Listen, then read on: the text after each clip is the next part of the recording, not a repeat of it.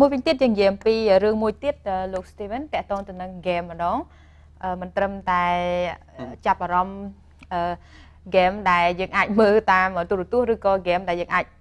បញ្ជានៅក្នុងទូទេប៉ុន្តែ មាន game តាមប្រព័ន្ធអ៊ីនធឺណិតនិងចុចទៅលើទូរស័ព្ទដៃផង iPad iPad វាជាទីចាប់អារម្មណ៍លោកអាចជំរាបជូនបន្តិចទៀតចា៎ mobile game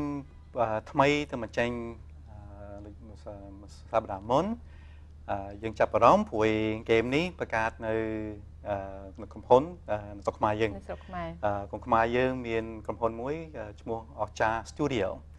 Ocha Studio Ocha ពាក្យទៅអង់គ្លេស Amazing Studio អញ្ចឹងក្រុមហ៊ុននេះបង្កើតដូចមួយឆ្នាំជាងមុនហើយមួយឆ្នាំមុនគេមានបង្កើត game ពាក់ព័ន្ធខាង Christmas Santa Claus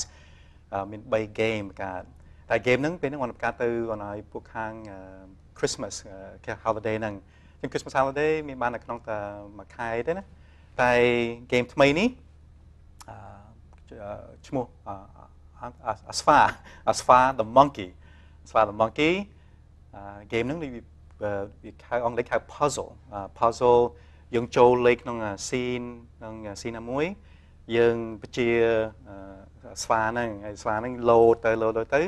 ទៅចូលទៅកន្លែងអីណាមួយទៅបានគេមានដូចដៃមានហ្នឹងចូលកន្លែងបរហោះហ្នឹងបើយើងចូលទៅ level ថ្មីហ្នឹងវា puzzle អញ្ចឹងទៅពេល level 1ទៅ level 2 level 3 level 4អឺ puzzle នោះវាដូរដូរដូរអញ្ចឹងវាទៅបានបានមកជាងទៅណាហើយខ្ញុំបានបាន download ដែរម្សិលមិញម្សិលមិញ game ហ្នឹងបានលេង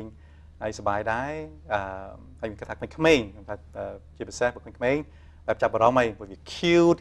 អឺរូបភាពអីហ្នឹងរូបស្វាហ្នឹងគួយដូចលេងអីដូចអីដូចក្មេងៗបែបចាប់អារម្មណ៍ច្រើនហើយតែខ្ញុំនិយាយថារឿងរឿងហ្គេមនេះថាពិសេសជាងគេមកពីប្រការនៅស្រុកខ្មែរយើងហើយខ្ញុំជួបមួយ CEO ខាង Ocha Studio ប្រហែលដែរហើយខ្ញុំចង់បញ្ជាក់ថាហ្គេមនេះប្រកាសមិនចាប់ធ្វើប្រហែល6ខែមុនអញ្ចឹងក្នុង6ខែបុគ្គលិកដូច10នាក់អីហ្នឹង ធ្វើ design ធ្វើ animation ធ្វើ programming ទាំងអស់ហ្នឹងឲ្យបានចេញ game នេះហើយ game នេះខ្ញុំនិយាយហ្នឹងវា100%ការនៅស្រុកខ្មែរយើងអញ្ចឹងដូចក្រុមហ៊ុនខ្ញុំដែរខាង Anchor One អ្នកក្រុមហ៊ុនអ្នកធ្វើខាង mobile game ដែរខ្ញុំសប្បាយចិត្តខ្ញុំឮថាក្រុមហ៊ុនដូច Ocha Studio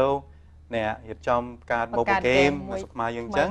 អឺល្អមែនតើហើយបាទចាហើយយើងនៅមានរូបភាពវីដេអូអំពី ហ្គេមថ្មីនេះដែរដែលមានឈ្មោះថា The Monkey ប៉ុន្តែបាទអាស្វា The Monkey បាទ